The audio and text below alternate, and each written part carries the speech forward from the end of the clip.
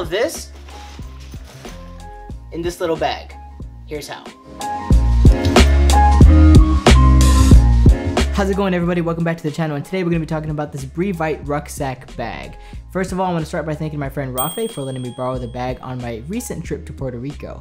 There's no video on that unfortunately, but I will be going back and be doing some awesome stuff. There are a couple good things and a couple bad things about this bag. Overall, it's a very solid bag and uh, let's just get started into the features that it offers. Alright, so let's get into it. The first thing that you'll notice is the RS on the bag right here. This is not something that comes with every single bag. This is specific to my buddy as his name is RS. Those are his initials. Uh, this Brevite logo here does come with every single bag that you will order. So the first thing that I, I, want to get into is a pro and a con. Uh, I really like how you have a magnetic opening here. The one thing that I don't like about it, uh, you know, it, it's horrible to start with a con in the video, but you know, I really got to get into it. The magnet of this bag doesn't lock in when you want it to lock in. So if I try to See that? I, I would get this every every time and I would just be finicking with this just to get that truly locked in. But once it's locked in, everything is nice and everything is cool. These two little buckles at the bottom of the bag are actually meant for you to put your tripod there. I was a little confused about this uh, when I first got the bag, but after doing a little further research, I was able to figure out what exactly it was for, and that's a nice little feature that they've added to the bag right here. And you can see that it fits my GorillaPod nice and snug.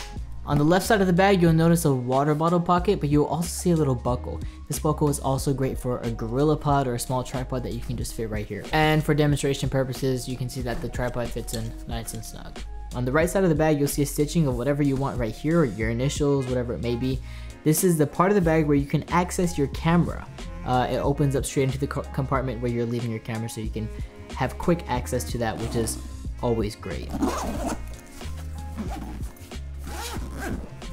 Now let's actually open it up. Inside the magnetic portion of the bag, you have multiple different compartments. You can put stuff right here, but you also have slot compartments for uh, possibly lens cleaners. This is a perfect area to put SD cards. You can put little chargers or batteries into the other compartments as well. So you've got three sections, uh, and one of the sections includes uh, your little slots for SD cards. At the top, you have a little zipper. You can put your passport, your wallet, uh, anything small in there will fit fine. Your charger, it all works fine. Now when you open the top, this is where you would put your clothes, your laptops, your, your, your accessories, and all that stuff right there. This small compartment right here opens up. Uh, this is this is where I put my socks, toothbrushes, boxers.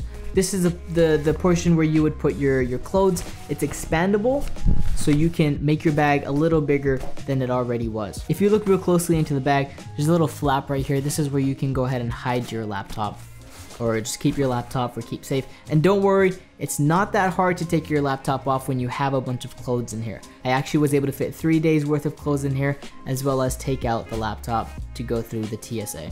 The straps are nice, you have a little buckle to wrap around your waist and really tighten that down. One thing I really like about this bag is it has a designated cap buckle. Unfortunately, it is only fit for a 58mm lens cap, Again, if you haven't lost your lens cap though. But if you're like me and you don't have a 58mm lens cap on every single one of your lenses, it also has a specific compartment right in the back that you can just stick your lens into. Right there. It's also got another little buckle right here that you can just keep nice and tidy around your chest area. That's always convenient to have. And now I save the best for last. Where do you keep your actual camera that would I've been wondering this the entire time. Well let me tell you because you've been so patient. okay, so under the magnetic portion of your camera bag, you want to see that camera. Under the magnetic portion of your camera bag, there is another zip. Oh, I know, it's so magnificent. This is actually where you're going to keep all your camera equipment. Look at this, this is gonna be so great. Oh, wow. So you can fully customize how you want these compartments to go. I've set it for my camera for while I was traveling. You put your camera here, you can open it up from this side. Um, I put some lenses here, two lenses and a telephoto lens here, and I put my camera charger right there. It fit everything perfectly. Before I forget, the camera compartment where you actually can hide your camera is removable. So this little guy can turn into its separate little backpack for the day. Now unfortunately, and probably one of my biggest nitpicks on this bag, is that you can take it out, but no one is gonna be holding a bag like this all freaking day.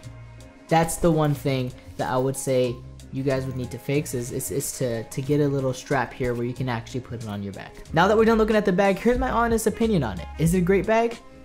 Absolutely. I was able to fit an entire suitcase's worth of clothes and accessories, and on top of that, I was able to fit my camera gear, so that is always a plus in a, a travel backpack of such. My biggest issue with this backpack is the external carrying case with all of your gear. It has no strap for you to put on your waist, and no strap for you to put on your shoulders. So if you really want to carry it, you're going to have it in your hand the entire time, and if it's not in your hand, it's going to be in the backpack, but no one wants to carry around a backpack with all of your clothes, with all your toothbrush and your toothpaste and you know your laptop and your camera like mics and SD card.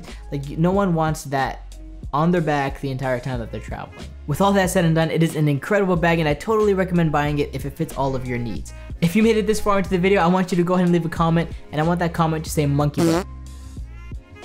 Yeah, monkey butt. That's funny. I like it. And now I'm gonna go ahead and change my shirt and record another video and act like I recorded it on two separate days. But most people won't even know that because they won't even see this part of the video. So monkey butt your way out of here. But leave a like first and then and then monkey butt your way out of here. See ya. Thanks for watching. I'll catch you guys in the next one. Bye.